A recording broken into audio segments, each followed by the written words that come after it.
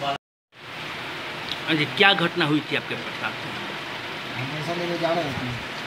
आगे से लड़का लोग आया गिर गए फिर पिस्टल के सामान पे पैसा एक वैसा इस्लामपुर वाला था हम्म, कौन लोग था कुछ पहचान पाए हैं?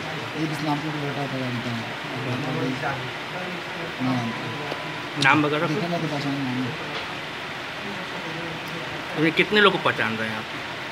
इसमें आठ दस लड़का को पहचानते हैं लेकिन भाई नाम से नहीं सब कहाँ का रहने वाला है? सब लोग एक इस्लामपुर का है। कितने की लूट हुई है? तीस चालीस लड़का था।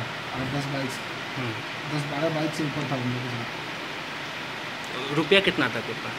डेढ़ लाख रुपया था हमारी था चाहे नून जी बताइए क्या घटना हुई? ये हमारा भतीजा है ये लगभग देखिए इनका जो है व्यापार है जो है ऊटी दिन में जो है इनका कपड़ा का दुकान है।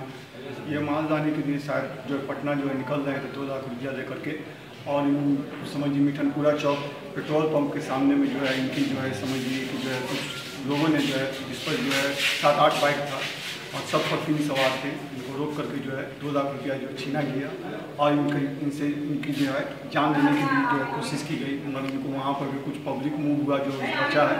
पैसा, चैन वगैरह जो भी है सब लोग जो छीन करके दे दिया। यहाँ हॉस्पिटल आने के बाद जो है समझिए यहाँ डॉक्टर जो हम नहीं थे बाहर निकले हुए थे, हमारे ड्यूटी के महानगर अध्यक्ष थे।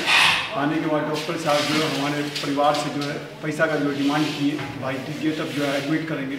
जब हम लोगों को पता चला यहाँ आए हैं हंगामा हुआ है काफ़ी ज़्यादा तब जो एडमिट लिया गया है अभी आई सी में है। नई सर नई सरकार को नया सौगात जो हम लोगों को दिया गया है समझिए और हमारे परिवार के साथ इस तरह का जो है घटना किया गया अच्छा मतलब कुछ पता चल पाया कौन लोग थे मोटरसाइकिल हाँ उसमें कुछ फेस वो पहचान रहा है कुछ कपड़ा जो मोती में आता है जो समझिए वो लोग जो है कुछ लोगों का नाम जो है जान रहा है कुछ लोगों का वो नहीं जान रहा है। मतलब क्या ये आपसे दुश्मनी लग रही है क्या है? ये- आपसे दुश्मनी लग रही है क्या है? इसमें हम लोग को भी नहीं समझ में आ रहा है कि क्या मामला है।